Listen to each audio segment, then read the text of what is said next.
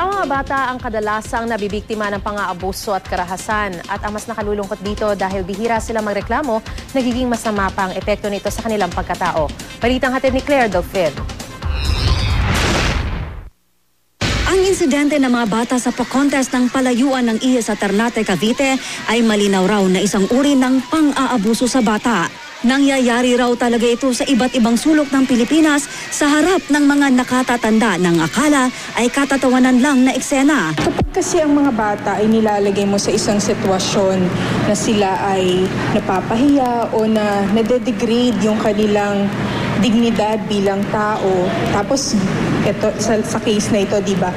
Parang ginagawa pa siya for entertainment purposes. It's really exploitation, no? Sa mga insidenteng ganito, hindi raw porket hindi nagrereklamo ang bata, wala lang epekto sa kanila ang nangyari.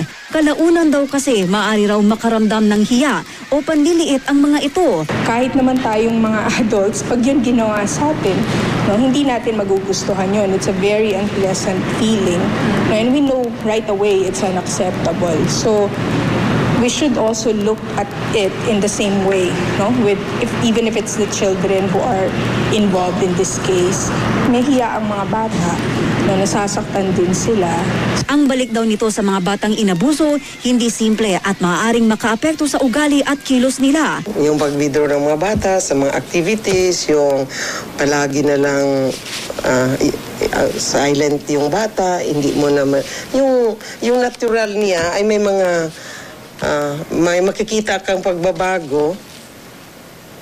So, you can attribute that doon sa, ano siguro, sa, ng, sa pangyayari. Importante ang counseling hindi lang sa mga batang naabuso, kundi pati sa mga magulang nila para malaman nilang di tama ang naturang palaro at di dapat na maulit pa.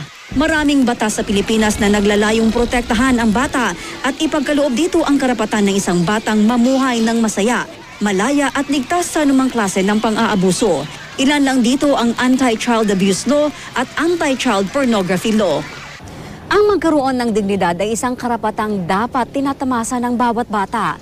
Karapatang dapat pinoproteksyonan ng mga nakatatanda, lalo na ng mga taong pinagkatiwalaang manguna sa pagtaguyod nito.